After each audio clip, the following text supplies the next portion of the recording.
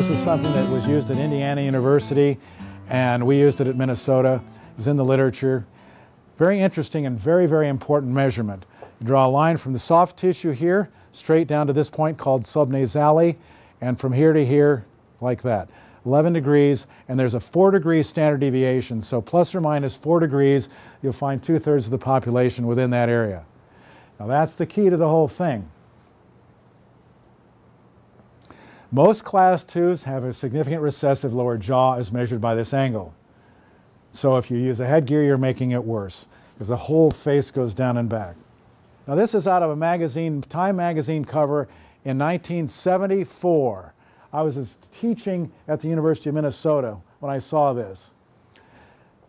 Leadership in America, and you put the facial contour angle on that, and the mandible is forward by four degrees. So a normal face would have it at back at 11 degrees, and if you're a leader, you have this massively forward lower jaw, or so the artist would have you believe. My point is then, we are dramatically affected in the way we look at people if someone has no chin at all, they have no strength or character.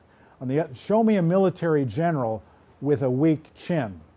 Show me an NFL or college football coach with a weak chin. They don't exist. They don't get in those positions with a, with a weak chin. It's huge. And yet, orthodontics is in the business of making weak chins.